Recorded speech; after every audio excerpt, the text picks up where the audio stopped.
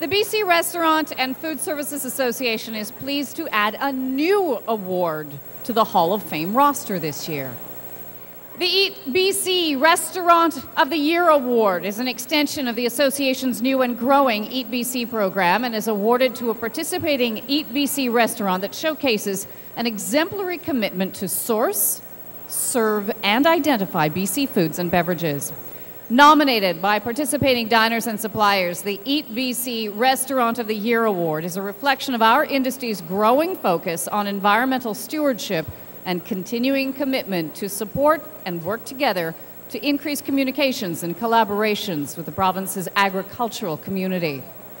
Anyways, on behalf of Audrey and I, it's a, it's a huge honor to be honored with something that we do every single night. We open our doors uh, 365 days a year. And, um, you know, it, it's all about feeling good. It's about feeling good about supporting my neighbor in southeast Kelowna and my neighbor in the Rocky Mountain foothills and my neighbor in the Fraser Valley.